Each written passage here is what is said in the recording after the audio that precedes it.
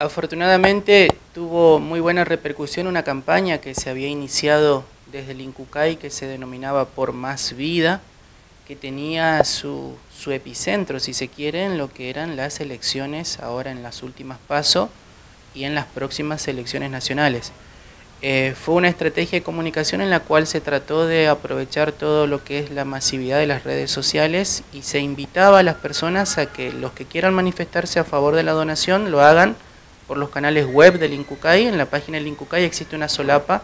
en la cual se pueden inscribir como donantes. Les reenvía un correo a una dirección que uno establece para confirmar la identidad y a partir de ahí ya queda inscripto y se devuelve un formulario PDF que es el, el famoso carnet de donantes. Puntualmente, en las últimas elecciones de este fin de semana hubieron alrededor de casi 1.700 personas que dijeron que sí a la donación en las distintas mesas que se instalaron en todo el país, de las cuales gran parte eh, formaron, eh, fueron establecidas por colaboradores que se llamaban fiscales solidarios, algo similar a lo que nosotros hicimos en el año 2015 y que lo vamos a repetir en las elecciones de octubre, así que próximamente vamos a estar haciendo la convocatoria a todas las personas que quieran ayudar en, en tomar conciencia en la importancia de la donación inscribiéndose en una página que vamos a habilitar del Cucay Chaco con el requisito de que en la escuela en la que uno vota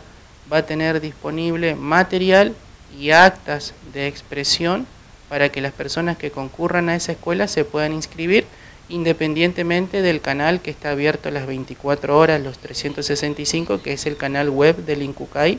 más todo lo que es eh, publicar en su Facebook o en el, en el Instagram el hashtag de por más vida o soy donante. Para volver a ver, 9 Link, el archivo de la tele. Suscríbete ya en YouTube.